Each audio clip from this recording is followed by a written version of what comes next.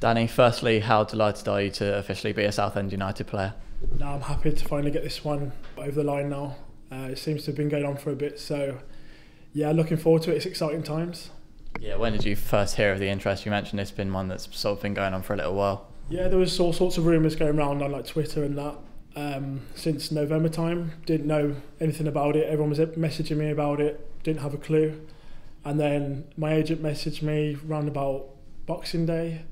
Um, and then yeah, since then it's it's been ongoing talks and trying to get this one sorted. So yeah, I'm I'm glad it's finally sorted now. Yeah, it's all been quite hectic trying to get it over the line, hasn't it? Because you've obviously been playing for Rushall and you've been working as well. So um, are you just pleased now it's now it's all done and you can sort of get, get get down to business? Yeah, just looking forward to focusing on the football now. Like you said, I've been working, playing for Rushall, uh, trying to get this sorted as well. So I'm just glad it's all finally done. And yeah, looking forward to getting to training, getting to know the lads more, and getting to playing games with the first team.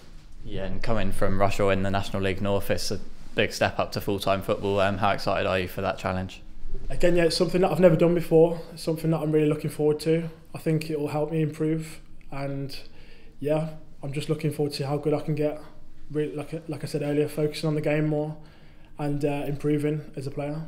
And you've got the chance to play alongside some really good players and work under like some great coaches as well. So do you feel like that could really take your game to the next level? Yeah, definitely. Like I said, I'm just looking to learn as much as I can, be playing with better players. Um, like you said, there's going to be better facilities here, so pick up as much as I can, take it on board, and then see how far it can take me. But yeah, really looking forward to it.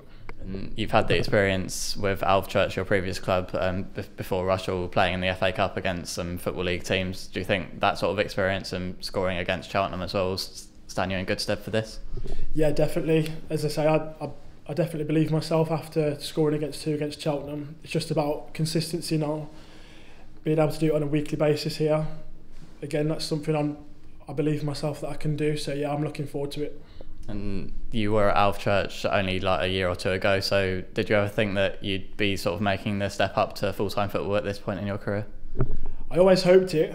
Never, never knew whether it would happen or not. But fortunately, I've I've made the step up one league last year and then happen it's happening again now. So yeah, it's, everything's going in the right direction for myself. So I'm just looking forward to improving and getting better again. And the games are going to come thick and fast over the next sort of few weeks and months. Um, so it's just a real chance to like make a real early impression here, isn't it? That's it. Yeah, I want to settle in as quick as I can, uh, get get get some minutes and hopefully get a few starts coming up, and then yeah, score some goals and get get the fans on my side, get get the players with me, and then yeah, we can see where that takes us.